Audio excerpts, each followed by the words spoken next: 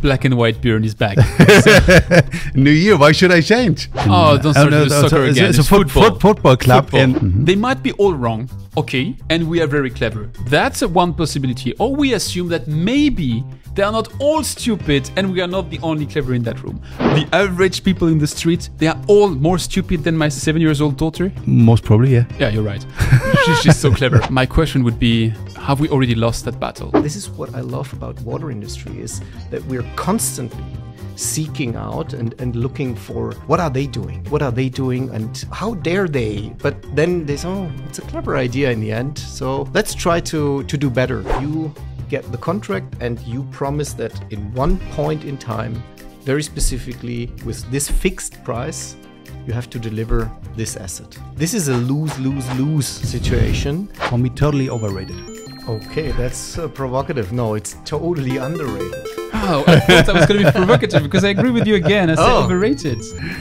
Okay. It needs time. It needs time, guys. We're in the water industry. Hey, innovation takes uh, many, many years, if not decades, in our industry. You know that. He's a positive. Thanks for sharing all your experiences with us, Björn. So Italy, France, off the list. What is the best business model in the water industry? Do you know? No, but I. Really? Yes, of sure I do. Well, you pretend you do, like always. Well, Happy New Year, guys.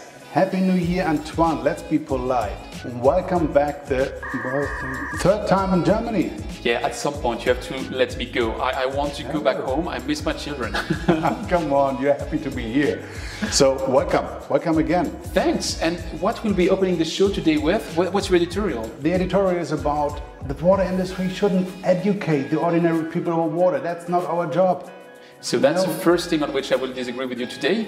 And then we go to my top three. My top three is about three water companies that betrayed us and went to the dark side of the force. And we'll discuss why they did so. Okay, very interesting. And what is the main section about? We will talk about the business models in our water industry.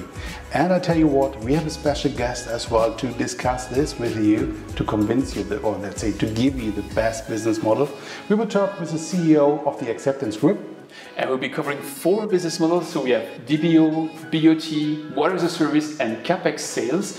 And I'm looking forward because you said you really know which one is the best one. Then Yeah, I want to listen discuss that with you. You're wrong, Björn, you know it. No, never.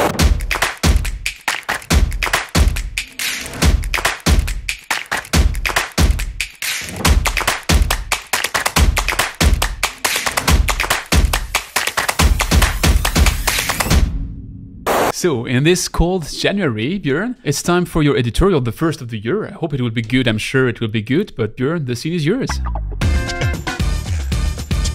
Thank you very much, Antoine. Yeah, this this month I really and I want to start the fresh year with something I have since ever in my mind and come coming always to my mind. It is that we as water industry we are not responsible for the education of the people about water. That is the point. Whenever it comes to the point that we need to educate the people, everybody's crying and saying, well, the water industry, you should do that. Even you last month, you said this, right? With one of your prediction you want to get away. They're always coming coming to us. I mean, it's not that we are not able to do and that we have the um, let's say the background for sure we could do that but it is not our responsibility and i will come to that in a minute i mean we have companies in our industry who are doing that I mean, we all know that. I mean, we talked about that as well. It was Xylem with Manchester City, uh, which is, by the way, a football club in or soccer club in in. in Oh, don't start with soccer again. It's, It's a foot, football. foot- football club in, Football. in the UK. I'm not a fo- I'm not a football fan, right? You know that. In in UK, um, and a good one. And they have this initiative that they tell the people really how to save water. And last year there was a hackathon in Zurich. They gave a prize to a, a team which developed an app how to tell the people to save water, which is all cool. I love all these initiatives, but I don't believe that we as industry we are responsible to do so because what is in for us. And that's why i mean a company like xylem which has multi-billion us dollars well they can afford that. But let's say a normal company a mid-sized company they don't do that because for them there's nothing in. And that is why i'm saying it is education is by the government And that's why I'm saying they need to do that. They need to hook the municipalities, to hook the utilities, and they have to tell the people what to do with the water. For sure, we have the experience. For sure, we have the knowledge. We can do it as a team. But don't blame all the time the water industry that we have to educate the people about water. Education is by the government and not by our industry. As long as we don't have any benefits out of that, why should we do that? Yes, there are companies who are doing that.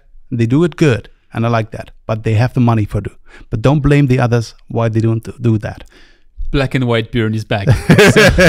New year, why should I change?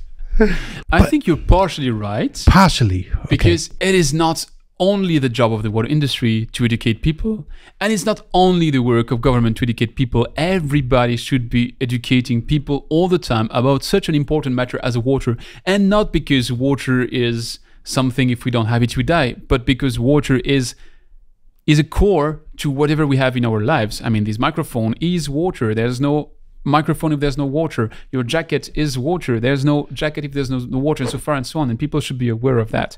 If a water industry company has the budget to put together a YouTube video, which is a demonstration of its product, which is awesome, which nobody's watching, Exactly. then Do you do you know how many many how many views the the one of the um, YouTube videos from from Xylem in Manchester City has? Two hundred fifty, something like that. Yeah. That was nothing. M- my point is if water companies have the budget to do videos which nobody watches they have also the budget to do videos that everybody would enjoy watching.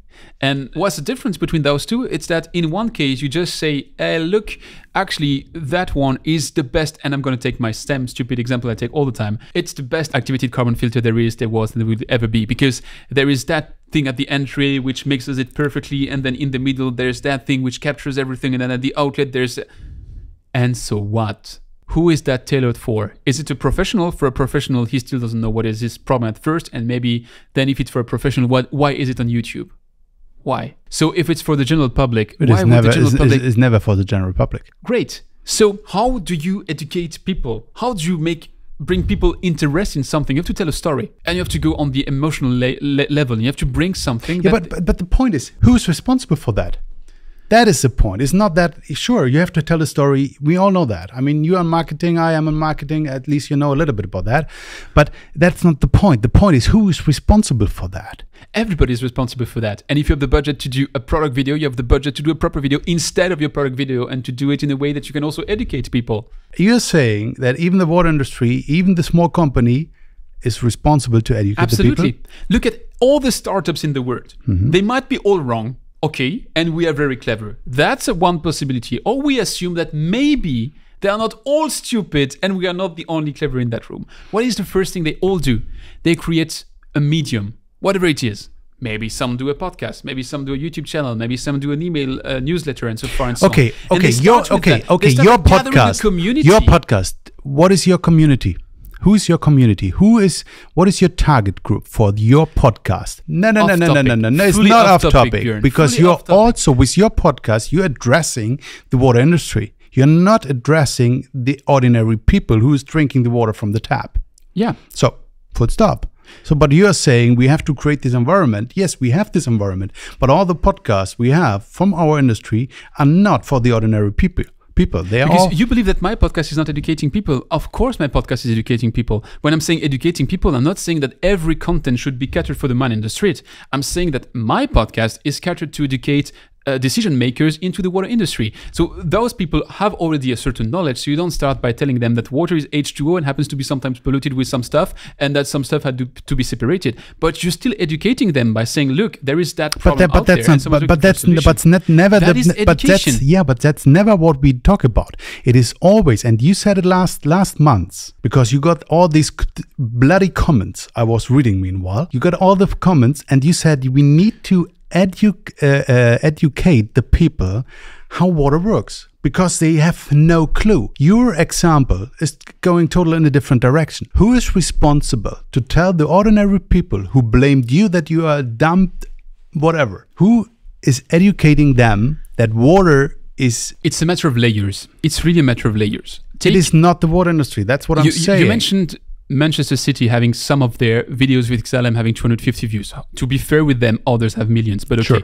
let's take that example. There are millions of water professionals, millions of water professionals. Like I don't have the Like absolute number in the word, like like, like you and me. That I would say that maybe 50 or 100 millions people in the world work in the water sector. Roughly speaking, very roughly speaking. Mm-hmm. Just my reference there is that uh, I mean, think about the all the municipalities we have. We have in the US, there's 1.4 million water professionals for a country which has 300 million inhabitants. So if I make the math, it's 0.3% of the population, 0.3% of uh, 8 billion people makes about this 140. uh, okay. I think you are okay. Okay. Okay, so you see what I'm where I'm heading with. So why does not every single video on YouTube have at least these thousands of of viewers if it's cut the right way? So what I'm saying is that you're saying we should stop with education. No, And I'm, not saying that. It's about train no, the no, trainer. You, you don't. You Train don't. the trainer. Don't get me wrong. We shouldn't. We shouldn't stop. I'm always saying that the water industry is not responsible for that. The responsibility is with the government, and they can take the water industry to leverage the knowledge and bring it to the people. That's what I'm saying. But universe- everybody is finger pointing to the industry and saying, "Well, you are responsible. You have to do that." I last year I was in I was in Sevilla at a conference. I had a table, and my topic was how can we educate the people. And I was thinking to myself, okay, yeah, we can think about things like that. I thought but you were in I- Valencia because it's the one you were always referring to. Uh, So no, Valencia, it Valencia, Sevilla. Valencia. I know better where you were. It's interesting. I'm always mixing up Sevilla and Valencia. I've never been to Sevilla. Anyway, um, and and the point the point is really, why is it on us? Where are these more- round? The point is, where are these round with the with the government, with the utilities, and that they can give us a call and say, "Hey, we have the round. We want to educate the people. Can you come? Can you help us? Where is that?" And that's what I'm missing. Everybody is blaming on us. Is finger pointing, saying, "You have to." I think that." we have this repeated discussion months after months after months. The big difference between you and me is that you still believe in governments, and I firmly believe they failed. And if they were supposed to to do it right at some points, they would have done. I mean, governments exist for for millennia, and and, and still nobody's a we clue never talked about that. That that that, that you're saying you a believer that government failed. it's our full discussion about the centralized versus decentralized, private versus public. I mean, you can take it in every single of our shows. It comes at least once where you say government should do this, and I said, is never going to isn't- do that. But isn't exactly isn't more? Let's say if you take the helicopter view, isn't the issue that we have the water industry here and we have the water communities here, and we we, we don't fit together somehow?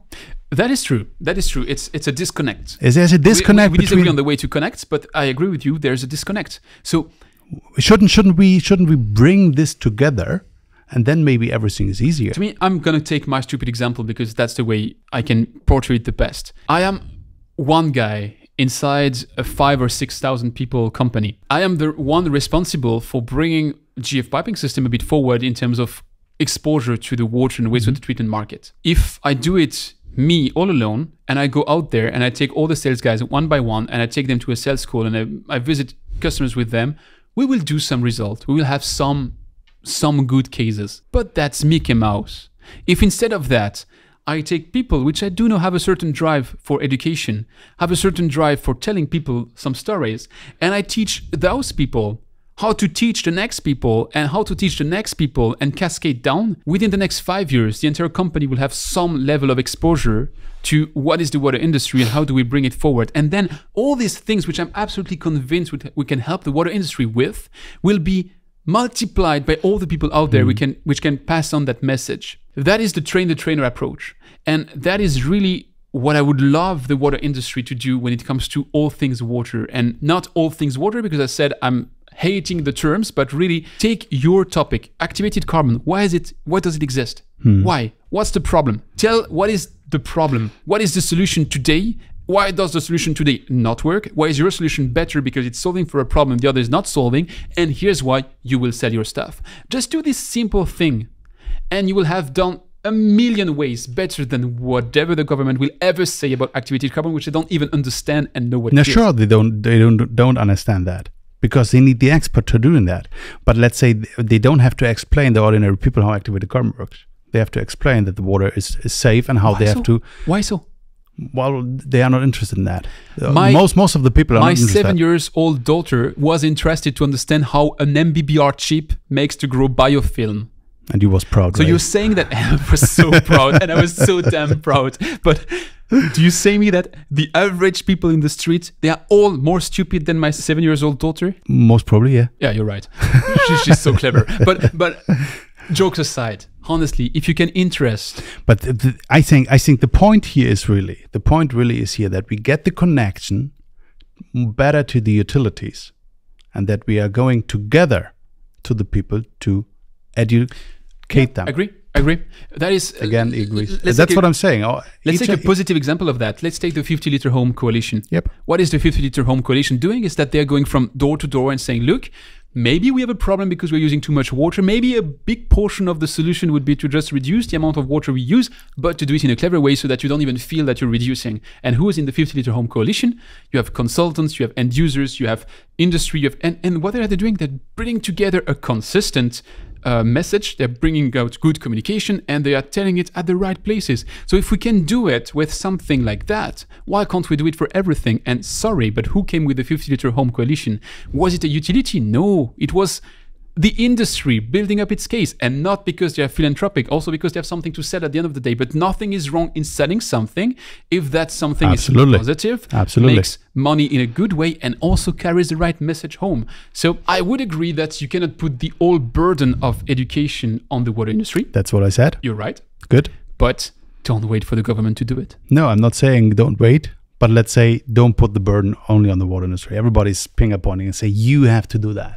you want to And discuss communication then let's close this editorial and let's move to my top three because you're going to like it Okay, good.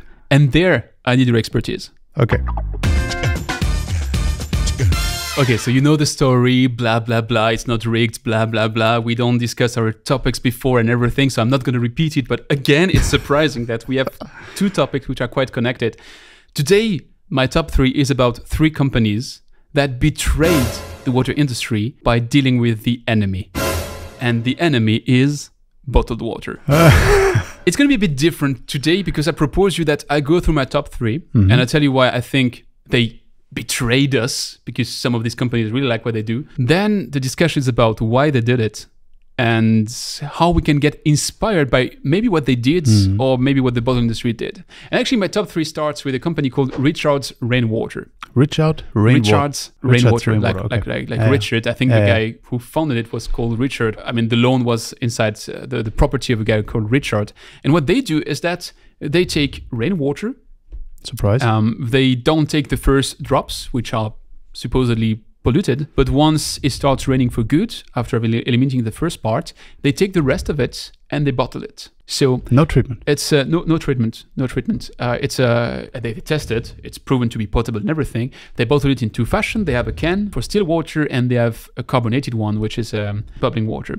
They have these two elements, and the reason why I say they are betraying the water industry is that their full marketing is around how the bottle industry is like big water like the big guys the, the bad guys exploiting the water left and right and and taking water from fiji and sending it around the world or taking water from evian and sending it around, around the world. And i would fully agree with them fully agree but i just don't agree with the conclusion which is to fight that let's take another source of bottled water. Like like like like why? Uh, wha- how is how is that different? How is my my bottle of richard's rainwater so different from the evian one in terms of impact it has straight away? It was in a truck it came in a truck it was delivered to uh, to a store and i bought it in a store.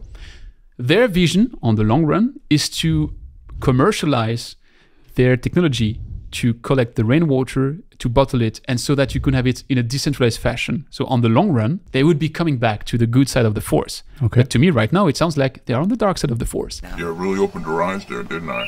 That was my number three. Number two is a company which I'm, I'm really sad to put them there because it's a company I love. Like, really, I love what they do. I love the founder and what he, he's done. The company is called Bosaq, and Bosaq is producing packaged plants which are doing ultrafiltration, which are doing disinfection of water, which are going, for instance, in many places of Africa where they're taking whatever source of water, they put this container. The mm. container has a solar panel on the roof, and that solar panel means it's fully self-sustaining, and it's really you take that thing and they do it with a frame contract over three years where you're guaranteed that whatever water you have at the inlet, at the outlet, you have drinking water and it's self sufficient. And that's the reason why I love that company. And what do they do? They bottle water. I'm like, guys, why? Why? Why? Why do you do that? And and you can now buy bottled water from Bosaq, and you can even buy it with special flavors. Like they would treat it to whatever you want, and it's not San Pellegrino, but it has the taste of something which might be San Pellegrino, which you cannot say because there's some copyright reasons. Sure. And I'm like, why do you do that? Why, why, why, why do you go to the other side and the dark side of the force? Spoiler alert, I am your father. And exactly the same with my number one. My number one is Source. Source is making atmospheric water generation. And it is a revolution to that extent because they're not the only ones doing atmospheric water generation, but they are the only ones to do it the way they do it, which is in a fully decentralized fashion. You're fully off grid of the electrical grid, Yeah, of the water grid. You produce water in the in the middle of the bushes, in the middle of, of, of the Navajo nation, in the middle of, of Australia. You are producing water. That water is drinkable and is bringing water in places which have never seen water. Awesome, guys. Love that. Might be crazily expensive, might be heavy, whatever you want. It's going to be better with time, but awesome. And what do they do? They bottle they water. bottle water, which is called source bottled water. And it's like, why? Why are you bringing water in the middle of nowhere where you are fighting against bottled water? I mean, the enemy there is bottled water because how are these people drinking today? They are drinking bottled water or they are, they are drinking trucked water. So why do you need to be just another brand of bottled water? And now, and that's the end of my rant, I understand why they do that. The three of them. Because there is this image of quality associated to bottled water. Like every time I was preparing a, a baby bottle for my, my, my two daughters and, and my, my, my son with tap water, the parents of my wife were looking at me like, oh, the crazy water guy at it again. If only he was to use Evian like everybody's using Evian, why does he hate his children and is he, is he using tap water? So bottled water has this image of being pure, wholesome, safer, everything premium. And we are just using that water which is used to flush the toilet. So it cannot be of the same quality. So if you're a brand, and that's now my muggle marketing understanding, if you want to market your water technology as a premium technology, you have to prove that it's so good that it can be bottled. And if it's so good to be bottled, then you can also sell the technology. So I understand why they do that, but it feels to me like they're using the dark side of the force to create some good. And the story doesn't end that well for Darth Vader in Star in Star Wars. So your out. prediction for all three is it will not end good. How how serious are they in selling the bottled water?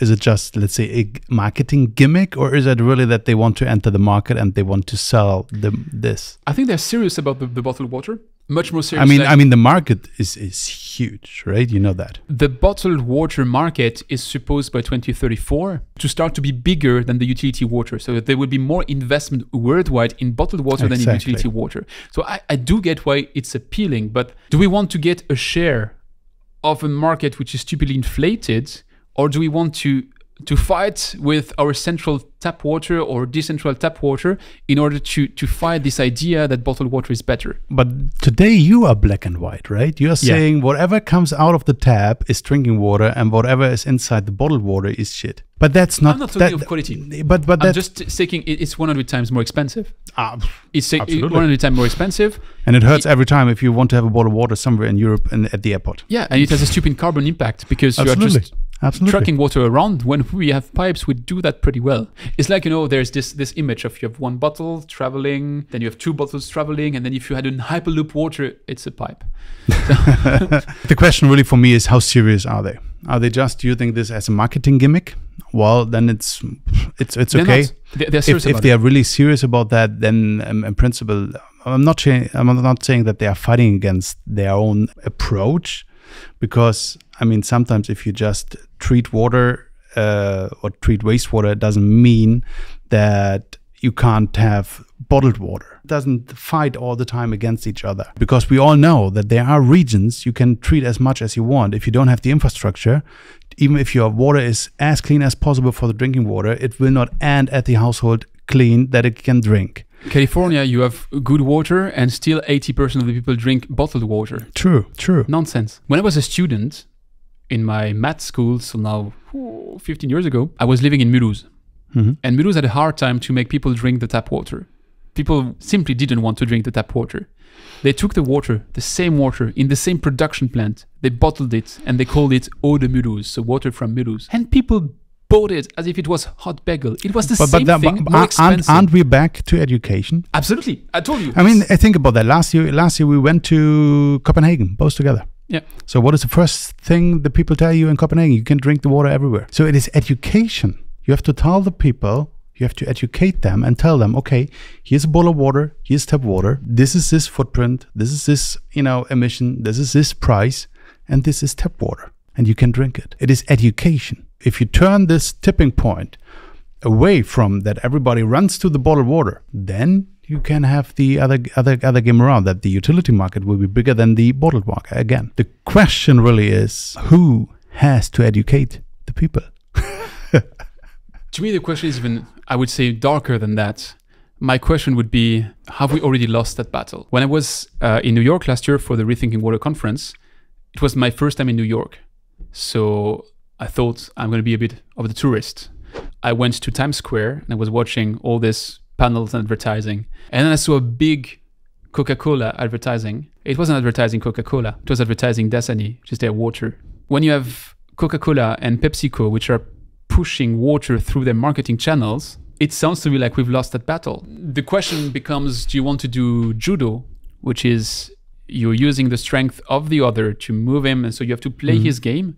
Or can we have an alternative? And I don't know if we have an alternative. I mean, if you look at PUB, which is maybe the most forward-looking utility there is in the world, when they want to promote new water, they bottle it, but, they do it for marketing purpose and on a short period of time. but, but I remember some time ago, you came with a couple of numbers that we have so and so many failures every year in the water network. Mm-hmm. Isn't that exactly the reason why the people say, "Wow, I don't feed that water to my daughter, to my baby. I will use a bottled water." Shouldn't we? Shouldn't we have a kind of? I mean, you came with that crazy idea that we all should have a kind of, let's say, uh, a treatment system under the sink our own to ensure that we have the treated that the, the quality of the treated water is right or isn't that let's say we have to ensure that this kind of number you came up with we reduce to never zero but at least almost isn't that the Absolutely. way we should it, do It, starts like that. The problem is that but then but that then will work only if there's money. If there's no money in the system because all the money goes to bottled water, then that will not happen. See, that's a bit of the of a double circle. You need to find where to start first. I mean, th- th- there's not how to start first. I mean, fir- first of all, you have to educate the people really about what is inside the water. And not only, I mean, Manchester is doing that with Xylem. We talked about that. How to save water. Why not telling them how clean the water is? Because what happened then, if it is not clean, then everybody will go to Manchester and Xylem say, "Hey, you told me the water is clean. It wasn't clean. My some someone went sick." And that's every. That's what really everybody wants to avoid. That they are somehow linked to something which they are not responsible for, and something went wrong. And it can go wrong. We have to be sure. It is, as I said, human nature, a little bit. So I'm I'm not saying that we lost the battle, but let's say we shouldn't tell the people all the time how to save water. We should also tell them how the quality of the water is.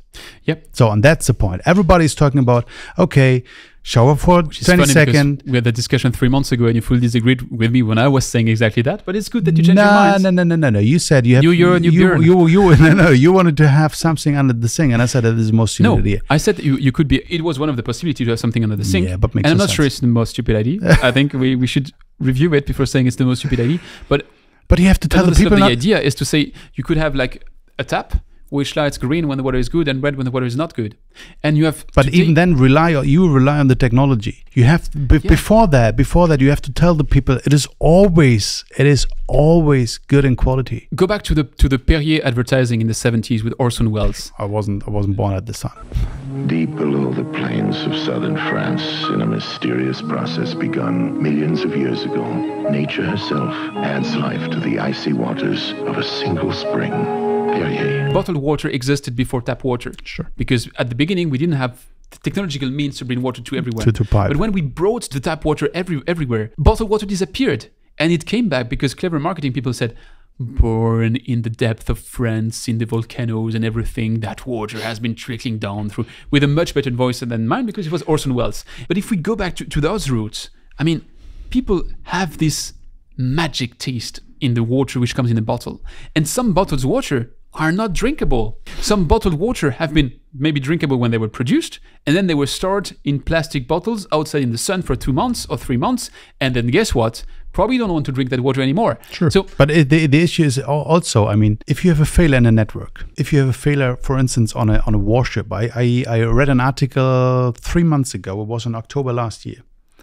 One of the Abraham Lincoln, one of these warships from the U.S., was contaminated with, contaminated with E. coli. You have it in the news. So the people they read that and they what, what is the first thought they have? I can't drink the tap water anymore. That is the first thought, and that's why the bottled water industry is becoming so important, or let's say not important, but let's say they play this role that they are bigger than the utilities. So we have, first of all, we have to educate the people that the water is safe and drinking, and then on the other hand, we have to ensure that what we promise that we deliver that. And so to bridge with what you were saying in your editorial, I think that's the reason why the water industry has to educate as well, because we are defending our cake. If we don't educate the people that tap water is good, that point of use water is, is good, that point of entry water is good, that decentralized water is good, then at some point, whether we all work for uh, Evian, Dasani, Fiji, or whoever, or we don't have a job anymore. Yeah. So we have to be fighting aside with the government to say that it is better as a society that we have a full system which is maybe better than just bottled waters driving around and taking water from Fiji in 2023 and putting it in a boat and having that carbon impact and having in the supermarket like the water bar like the water bar with 50 different brands like like I care it's water But you know that there's a business model. Maybe I do know I do know this Yeah. was so crazy to see. But anyway, good, we agree on that. but talking of business models, that makes for a smooth transition. That is really something I'd like us to discuss today. And Perfect. that's a good thing because that's our deep dive. absolutely. Let's, Let's, move go. to that. The cities of our world are constantly growing. As a result, the demands on water treatment are changing as well. The amount of wastewater and therefore the purification process need to become more efficient.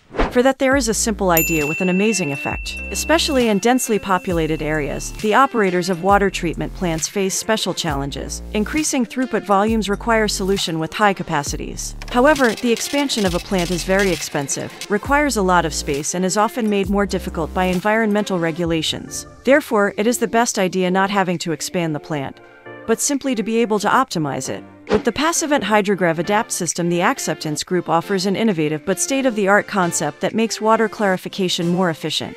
The patented system ensures that the water flows in as calmly and deeply as possible. That means that the sludge overflow and floc discharge through secondary clarifiers can be consistently avoided, leading to a notable increase in the capacity of the system. This improves the flow rate significantly and makes the clearing process more efficient, without adding extra tanks to the existing plant. Set up for the future with the Passavant Hydrograv Adapt.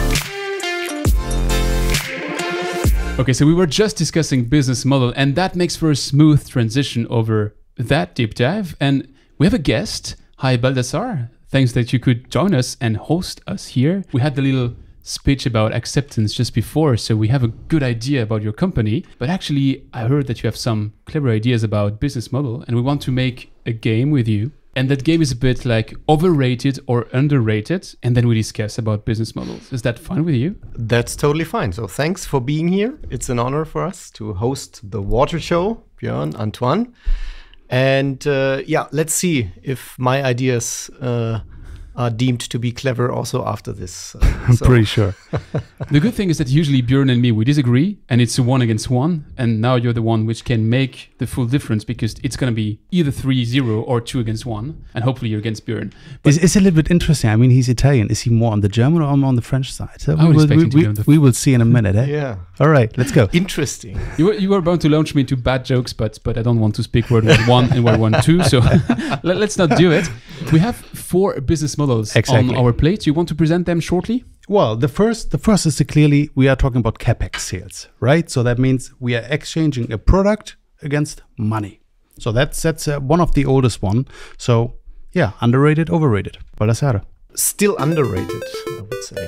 underrated. Interesting. What do you say? I would say overrated. I s- oh, really? I say underrated. I expected you to say underrated, so that's why I'm a bit the contrary. Let, let me start, and then you can you can build on it.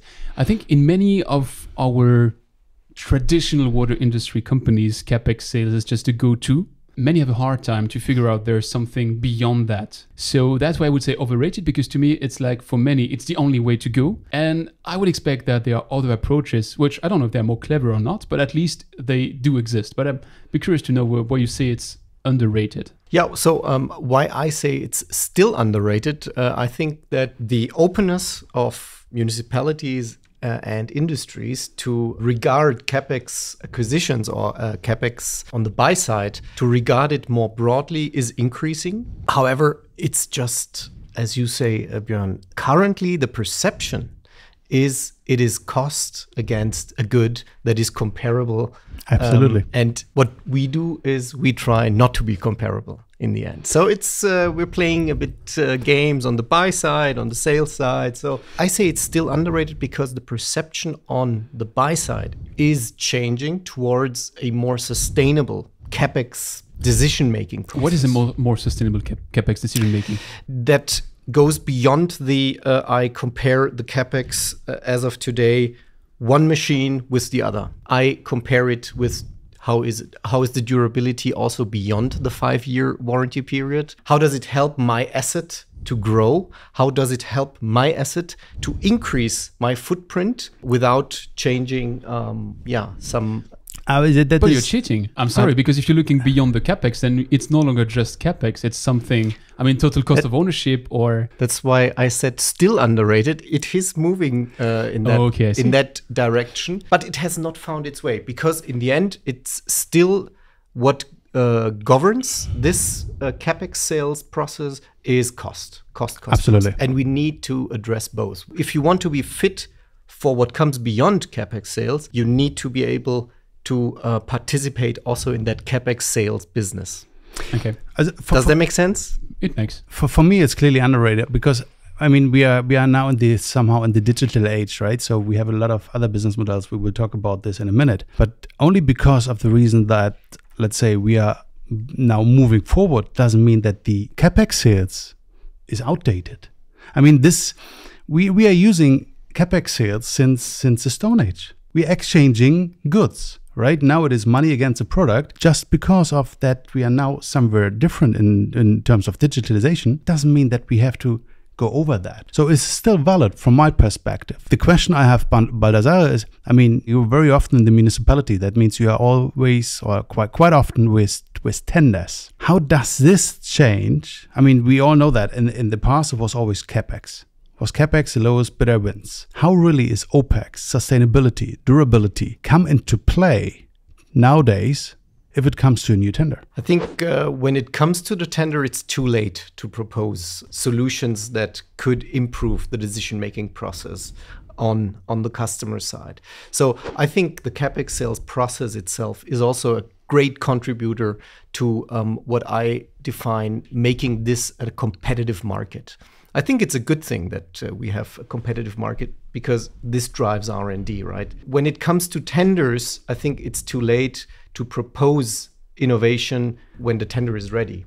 That's why you have to work before that with design institutes, with universities, with decision makers, with peers on the water show to make sure that uh, the perception and the attraction of what you can propose Yeah. yeah goes beyond a capex sales Let, let me be the, the devil's advocate here because specification bending or specification writing, I fully understand why it's good for a company. I'm the first one to do that uh, with, with my company. It's there's an element of advice which is fully to the benefit of the customer. I fully get that. But there's also an element of you're trying to write something where you do know that your competition cannot compete with you on that level because you're proposing something with your R&D you have been differentiated you're going into Yeah. a direction that they cannot really go on the same level than you and then you you bring that a bit to your home game and then you have better chances on win, winning the, the tender yeah to, to me it sounds a bit like it's always a, a mixed feeling on one end you're adding value on the other end you're also helping yourself is that bad is that a contradiction um, i don't i don't perceive it as a contradiction You're right. uh, to the contrary i think that um, if we look into our industry and i love our industry it's like you know uh, sometimes uh, we are ahead sometimes others are ahead but i think exactly that difference is what drives then innovation because we always try to surpass the other in getting ahead again. So my perception is positive. So I'm I'm happy when I see competitors having been able to um, position themselves with a competitive edge that we do not have because it challenges my organization to grow better and to develop something new. It's a question of perception. And I think this is what I love about water industry is that we're constantly seeking out and, and looking for what are they doing? What are they doing? And how dare they? But then they say, oh, it's a clever idea in the end. So let's try to, to do better. So again, I think to the benefit of water in the end, we have to keep that um, going. And there will always be a temporary advantage for um, each of us. And that's okay. But but I think the, we shouldn't underestimate really the utilities. They are not so stupid that they don't realize, okay, I got this specification. If I that put in, then GF wins or Aqseptence wins or whoever wins. I mean, they are not so stupid anymore. Meanwhile, I'm they're saying the opposite. They're very clever. yeah, I mean, because they have they have models meanwhile that, that they rank you and capex, opex, reliability, and so on, sustainability becoming more and more important. That they have this kind of mass model. Yep. And in the end, do you have a number?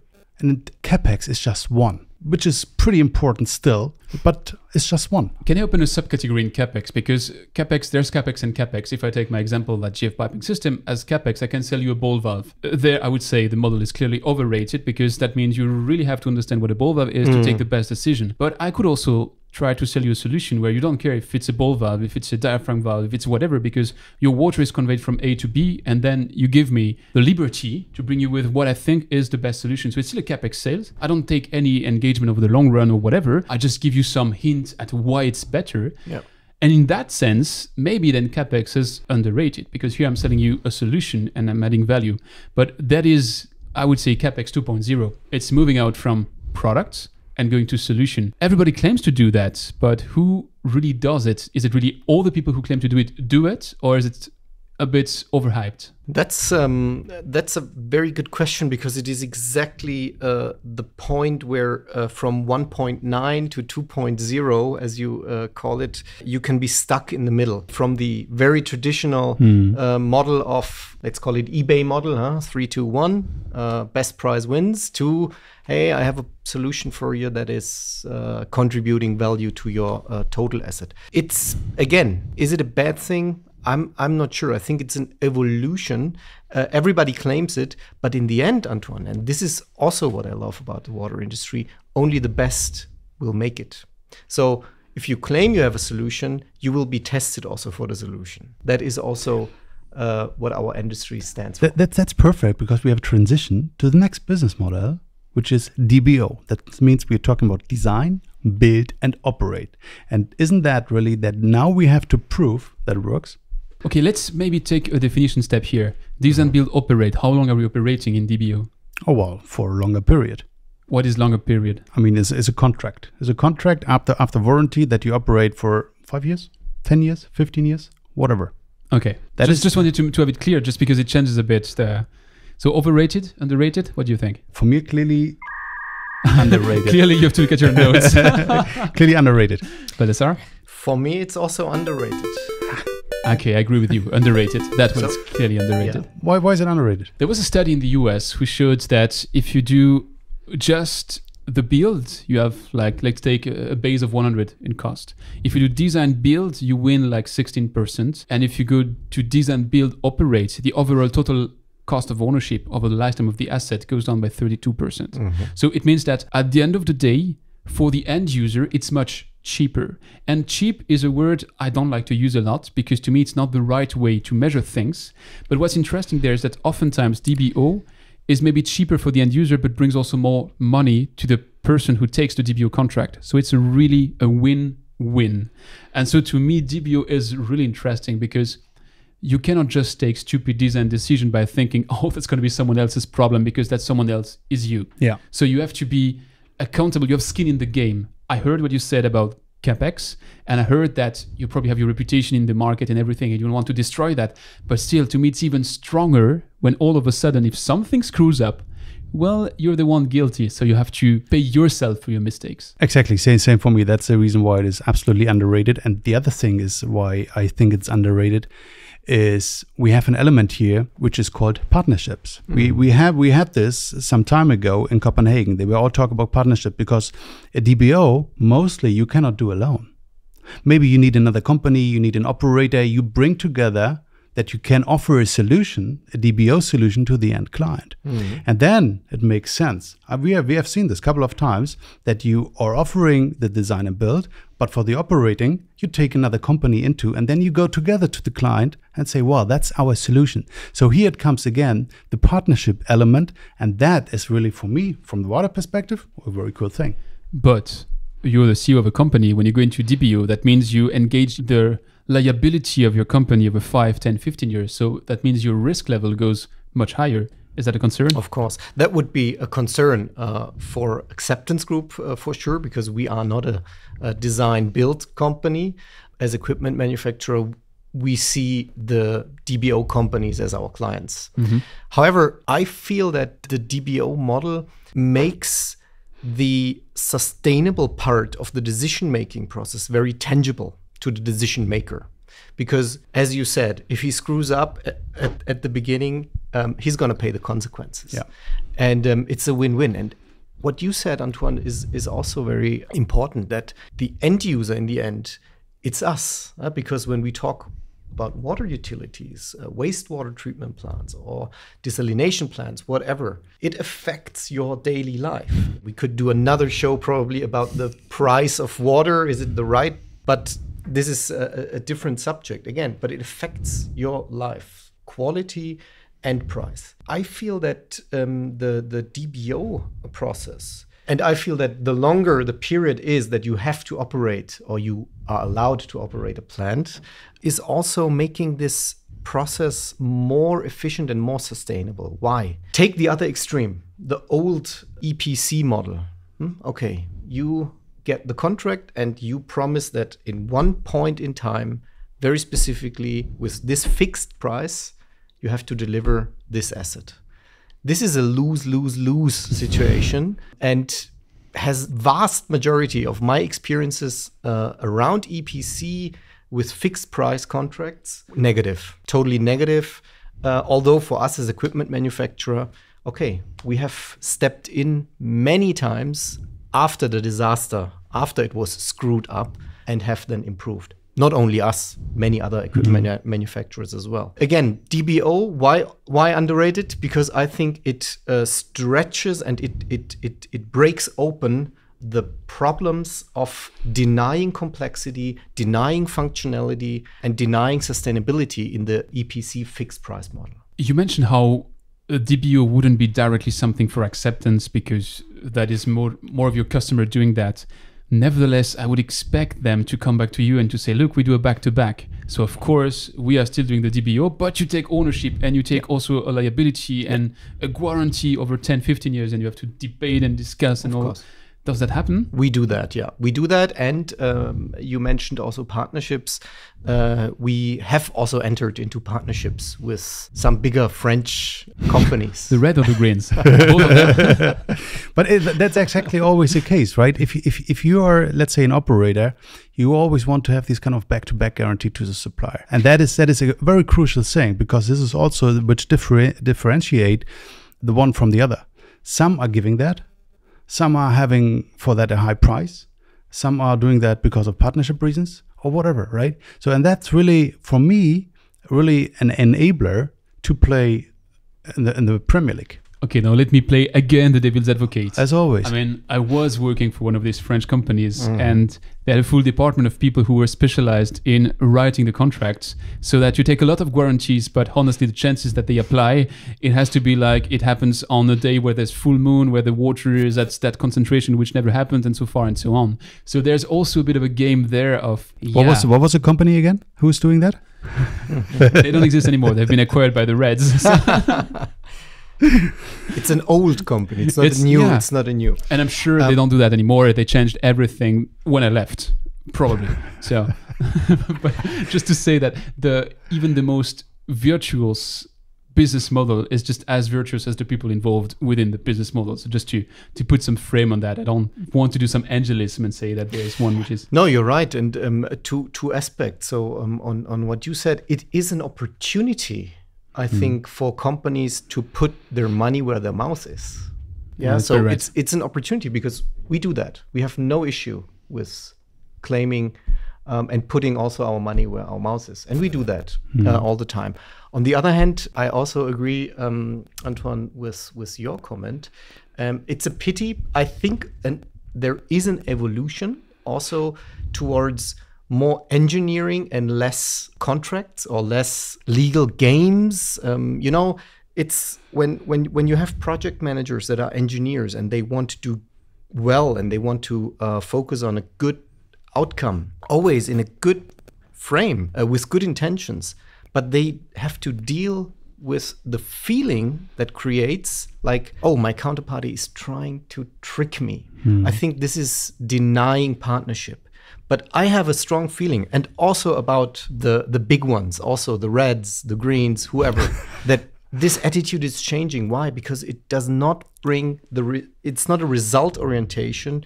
It's a cya perspective Yeah. that is vanishing i think because we have realized focusing on result mm-hmm. adds value and if it adds value then we have something to share. And then we come into this win-win-win situation Okay, hopefully. let's let's jump to the next, which is BOT or BOOTs. That means build, own, build, operate, own, and transfer, or build, operate, and transfer. So that is a little bit the the counterpart, I would say, to DBO. Well, again, to be clear on the on, on the difference, I would say that BOT, if I'm right, it's about a shorter time. Absolutely. So you Ah, would be doing a BOT over one, two years, while the Warranty. DBO would be over 10, 15, 20 Exactly. years. So the Okay. war- so the warranty, not normally the warranty. After the warranty, you have a contract of one two years. You disappear. For me, clearly uh, underrated, and I have a totally negative example I can bring in a minute. What do you say? overrated overrated Interesting. I would agree with Björn. That doesn't happen that often. I would say underrated as well. Why do you say overrated? overrated because this transfer period, this short period, is not solving one of the big issues that municipalities um, and probably also on, on, on some ends some industrial customers have, namely building within their organization, building up um, expertise and stuff. Think also of demographic change in Europe.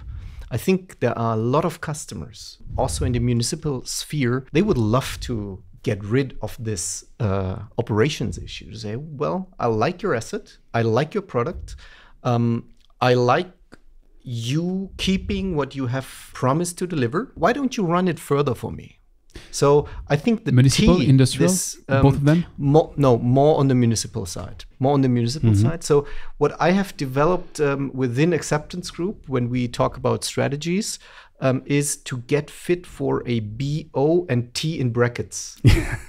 so the T is like uh, you know for me open. You don't really define when this transfer is going to happen, and uh, you should. So if if I um, should give an advice to companies who do BOT, I would put that in as a business model to offer BOT in brackets the T and to say, well, look, we can discuss when I will transfer the asset to you. It sounds to me like these these movies, like Hollywood movies, where you have the people who hate uh, weddings and who say, "I don't want to get married because if I get married, it's like a fixed contract, and then my wife is with me or my husband is with me forever until I mm-hmm. die or until we divorce." And you have the other one saying, "We should renew our love every year so that I have to foster the relationship." and it sounds a bit like that when you say BOT with a T between back brackets. I think you would propose a new operation contract like every year, every second year, and that pushes you to keep that level of excellence so that when you renew the contract, you really renew the contract and they don't just dump you to to get another company to operate or they operate themselves. So it's a good sign of the skin of the game I was mentioning before because you show mm-hmm. that you trust that highly into your quality and in the operation that you don't need to have 15 years of contract to back you. You're going to operate for 15 years, but in seven times two years, and not in one time a contract of 15. I, I give you I give you the the better example here. I, Of course, better. Yeah. Yeah, no, no, no, no. Come, come on. I, I, I give you the example. We were delivered uh, to, or let's say, we delivered an, a membrane to uh, an EPC company in India, and they delivered an entire wastewater treatment plant to PepsiCo. Mm-hmm. So, and normally, the let's say the the payment terms are, let's say that if it comes to the warranty before installation, more or less 80, 90 percent, you have you got already because of of the equipment. So there were 10 percent left, and then there was an issue with the plant. So it didn't run very well. So, and we helped them, and the EPC went there dozen of times. And then from one day to the other, to the other, I got a call from PepsiCo and they said the EPC left. And I said, what? Never heard that. Yeah, the EPC left because. And then I talked to the EPC and he said clearly, we have no clue what happened. Something failed. But let's say my effort now to get the last 10% is way, way, way, way, way higher as if I would leave right now. Mm. And that was such a better experience I had that I was mm-hmm. thinking, whoo. I never had this here in Europe. I never see mm-hmm. that. I mean, we all know we all had projects which went really la- b- bad, mm-hmm. right? And we paid paid mm. money for that. Happens, right? We learn mm-hmm. from that. But that really a company say, well, okay, I go now. I guess it's a double-sided sword because it's an industry which is driven by references, and Sure. if you do that, sure, you're going to save your your money on that project because you're not burning more money than the 10% left in the in the payment terms but then your reputation is harmed in a way that is hard than to for people to believe that you can operate again so mm. but yeah that's more of the anecdote björn come on that's not a real example Well, well, it wasn't was an example. I mean, the other example is always. I mean, if we had kind of this project where something went wrong, I mean, honestly, all the companies I was with, even if it really hurts, we spent the money to get this done, mm-hmm. right? This is somehow the the the the, so- the behavior we have here in Europe. I would do say. we stand on the underrated or we change our minds and we agree with baldassare Well, I'm I'm I'm a little between underrated and overrated. Honestly saying, I have better experience, but I still think it is kind of business model, right? Even even there, you have the kind of partnership element. Mm-hmm. Even even there, you have let's say you have the competences bundled together to deliver the right solution to the end user, and that is what what what drives me as I would say underrated, but with a negative touch somehow. I stand with my underrated. To me, it's underrated. the skin in the game is invaluable, and I would I would really stay with that one. Okay. We have a fourth one. Okay, the last one is it is always called water as a service, which is in the end it is somehow designed, uh, built, financed, operated, and then transferred to the class customer. DBFOMT. Wha- Whatever you want to call that, Uh, the, the, the general public is saying water as a service. For me, if it is called like that, water as a service, for me, totally overrated. Okay, that's uh, provocative. No, it's totally underrated. Oh, I thought that was going to be provocative because I agree with you again. I say Oh. overrated. Why? Overrated? Oh, to me, it's overrated because it's like the magical pill. Okay. It's like, oh, we have to move out from the good old capex. Let's do everything as a service. And you know, uh, the University of St. Gallen has made like a, a card game, and that's a good way to teach people about these di- different business models. And there are 64 cards in that card game, and there are 64 different business models. And when you look at articles on on the Harvard Business Review, whatever, you can find thousands of different business models of course with very very tiny differences from one to another but still there are lots of of nuances to the, these shades of gray and it sounds like you could solve everything by just saying hey we do it as a service. But what's the service? What are you selling? Uh, is it water? Is it uh, the the treatment? Is it energy? Is it i mean there's so many different things you could be so to me it's like the bigger box is overrated. The concept is still underrated because people don't go to the to the bottom and the core of it. But the term as a service is just too easy everybody just You know what? What, what Drops it. too easy is for me that we say water. I mean, water as a service to deliver is very hard from 90% of all the companies. So why hmm. are we not saying, for instance, a technology as a service or a product, water as a product as a service, something like that? Then I would be somehow in the middle. Because just water as a service, I mean, who's delivering water as a service? I Who have something about product as a service. Let's come back to that. I, I agree. I agree. I agree with that. So um, I think what what why you are saying it's um, Overrated. Overrated. Sorry, overrated is because you are bothered with the term. It's a But- buzzword. honestly, that's the same for me. But the concept. So I was really um, more judging the concept, and I think if we look to um, the four stages that we just discussed DB, DBO, BOT, and water as a service or product as a service or whatever as a service, or let's call it result orientation, you see that the evolution, it for me, it's just a picture of the evolution that ultimately we will come to. That is selling some things in, in, in cubic meters or in other KPIs to the customers. And I like that. We work together with Professor Braungart, who is somebody who is very strong in the cradle to cradle approach. And he said, hey, no one needs your products. And that made me think it's true. No one needs our screens. No one needs our customers. They do not need really our screen. What they need is the results that we provide into their process. So for me, it's underrated because it is the future. I'm sure. I'm sure it will be the future because this evolution is not to stop, huh? But I, I would agree with you because it's a good marketing analogy of the drill and the hole. Like nobody needs a drill, everybody needs a hole. So there I would agree. And then I'll, I'll, I'll leave you the, the floor. It's just to me the reason why I say overrated is that I mentioned I was working for a French company, was working for for Degremont. Degremont has a history in the, in the 80s, in the 90s. They were selling over the fence. It was called over the fence. So mm-hmm. you, you take your equipment, you brought, bring it somewhere, and then over the fence you treat the water and whatever. And they came back from that. So to me, I, I have a hard time figuring it's the future when it's already the past. Maybe it was clever all all the way long, but mm-hmm. just because you just rebranded as as a service, to me doesn't make it different from what was done over the fence decades ago. And didn't want to cut you off, just to drop that. for me, really, it really was um, over, over the last year. I what I have seen is the people are discussing that this kind of water as a service approach. Even the industry is coming up. Hey, you, you need to sell me the water, or you need to sell me the treated wastewater, whatever. But if the tender comes on the table, it is clearly a capex sales, always, and that's why I think it's overrated. Because what in the end comes on the table, what we have to deliver, is capex sales. They are talking about that, but they don't want that in the end, and that's why I'm thinking, okay, Hey, okay, it needs time. It, needs time, guys. We're in the water industry. hey, innovation takes uh, many, many years, if not decades, in our industry. You know that. he's a positive, And positive. um, I see that. So you know, to to your comment, Antoine, I think every technology needs a mature environment where it can grow and where it can really be appreciated for what it is. Probably at the time with Degrémont, it was too early, so they were ahead. And the environment was more on the EPC side, like, hey, I have a fixed price. This was the time when fixed price EPC contracts uh, were. is the time right? over? Do you see the time is Um, over?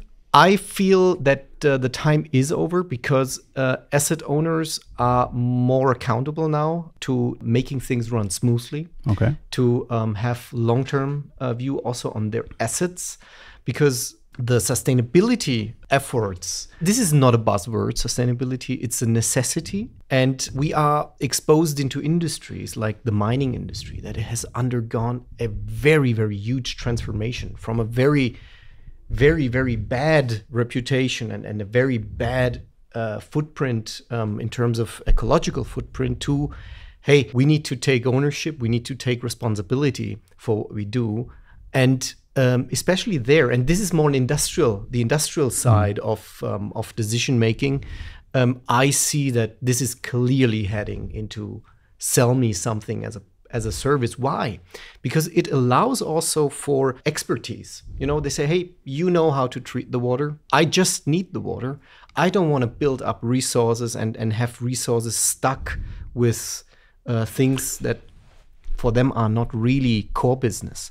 So it's probably positive, but I think that the environment is now more mature to accept these things because the alternative, and this is also a difference to the 80s and 90s, we have now 40 years of experience with fixed price EPC contracts. And again, predominantly, I feel that the assets owner in the end, the assets owner, not the EPC, not all EPC companies, the ones that are left, probably look back with some happiness, but most of them not. I I would have two questions on that. The first is in the 80s, 90s, you were like a liberal wave. A lot of people really believing into uh, the open market, into uh, a very open capitalism. And it's pretty funny because three months ago we had that debate with Björn, and I was explaining why I think that was maybe much better than what we think it was in retrospect.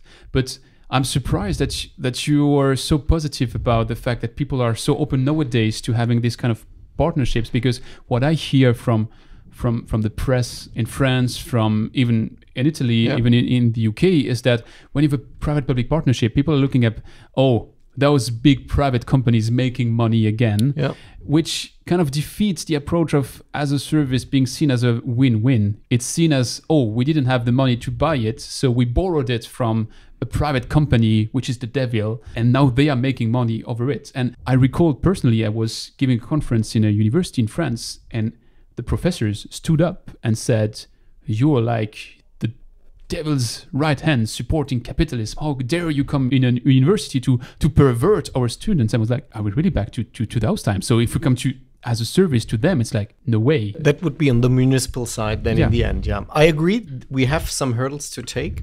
And that is why we are also here. Uh, why we are, why I'm also here. I think we have also a new generation now that is taking over not only the water industry, but the industry in general. And um, I believe that partnerships have to add value. And it's not about the quick euro or the quick dollar that you can uh, make. So I see that we have to be there. So good that you went there and good that you stood the ground. And I think there will be more instances where you need to uh, take the criticism. And it's a legitimate criticism because it happened. So now it's up to us. And that's why also we have decided to give ourselves this claim of responsibility. It's up to us now to build a new perception. Which leads me to my second question, which is much Yeah. shorter. You mentioned R and D. R and D is often looked at something which is a product topic or a process topic or a technical topic. Do you also do R and D on business model innovation? Yes. Yeah, we do. Yeah. So we we do that. That's why I was on this BOT side uh, also um, prepared because this is what we'll we, we also look into it. So R&D is not only linked to products or to uh, applications of your products. R&D for me means everything. R&D means putting question marks to everything. So how we do things, why we do things, and um, yeah, when we do things. So R&D, you know, this this curiosity aspect of R&D, it needs to be in the company 360, even in financial, uh, even in the financial organization of your company. So for us, R&D is really the lifeline of this company. I hope, I hope, I hope you're really right with with saying that there is a change by the end client because what I see is that the end client is not ready to take the to give the responsibility to us because in the end, if something goes wrong, their production stops and they have issues with the production or they have to pay the fines to the government. If I if I hear you right, you are very optimistic. We have a new generation coming up and they are more open to these kind of kind of business models. That means also there's more optimism for the entire water industry. So we can come out of the niche that we are so conservative, right? One thing is we have the privilege to see what happened, uh, so to make the experience or to learn from the experiences made over the past 40 years. That's an advantage that our generations before us did not have. True. First. The second is also that there is the necessity, and we all understand that there, there's the necessity to think sustainably. I think both things are coming together and, and are creating momentum. Of course, does this exclude and is everybody fi- hey we're just humans in the end and we are sinners by definition. So uh, i cannot exclude and nor will i guarantee that our generation is uh, pure and no no way. But um, i think that based on the experiences and the necessity that comes from the outside there is really no alternative but to trust each other and to create this responsibility and this responsible approach so And does the as a service approach change if we enter a word with a 9 or 10% inflation? Well, uh, this is something that um, has to be dealt with um, on the uh, contractual basis. You know, it's also, again, uh, as a service means that you are giving a price. And the advantage of the of your customer is that he has certainty on availability for a certain price. When there are spikes like now, inflation, um, based on okay why do we have that inflation also very difficult to to really pin it down to one or two uh, elements i think this is a question of fairness in a partnership to have agreements that when you go beyond a certain inflation mm-hmm. you have to adjust your price. Not easy antoine. So point taken. It's an extreme situation but again we are experiencing it. So probably we can also factor that in True. into our thoughts. And honestly, I think for us, it's the first time we are experiencing that Oh yeah. that high inflation. Yeah, right? purely is So old, but but to me, yeah. For, for for the two of us, right? Hey guys, come on! what Björn, are you doing? No, sorry. F- f- f- f- final, final, final, final question, Baldassare. I mean, we we run over the the four. You're still laughing. I can't. no, no. We run over the four business model for you as CEO from Aqseptence. Which one is the most important for you as company? Um, well, we are, um, as I said at the beginning, we are serving into all business models. But uh, we want to evolve more ourselves into the what we discussed as a service, but the uh, build, operate, and transfer in brackets. This is this is the two models that I'm I'm looking um, No longer capex. for. No, capex is integral part of what Yeah. we do. Look look also at the uh, spare parts or, or, or all brownfield. This is capex because you don't need to No, but even for, for brownfield projects, you can have other business models. Of course, you can, uh, and and it's a great opportunity. But most, I'm, I'm talking smaller brownfield. I'm talking after sales or replacements that are pretty standard. And again, as I said, I think you have to be able to compete there. This is the basis in order to strive for more. So that doesn't mean we are leaving uh, that place. No, no. Of course, we we, we are going to be in all business models uh, present, but there is more passion for the one or the other. I guess at the right point in time to to bring you into that conversation actually because we've been discussing four of the 64 or thousands of business models. Maybe you have a different experience. You are dealing with different business models, and maybe there's an elephant in the room which we missed, which happens sometimes. So just drop us a comment. Tell us what we should be taking if we do again an underrated, overrated session with other business models. I think we could do like 10 of them with 10 different topics. So up to you. Tell us in the comments what you think about all of that. And with that said, Baldassare, thanks a lot for hosting us here. And thanks for the very insightful conversation. Thanks for And the game. Thanks for, for Yeah. comforting me in the fact that we are the young people and he's a bit old minded. But Thanks for sharing all your still accept it. experiences with us, Björn. So Italy, France, off the list. Never ever holidays. Thank you, guys. thanks. Thanks, much appreciated.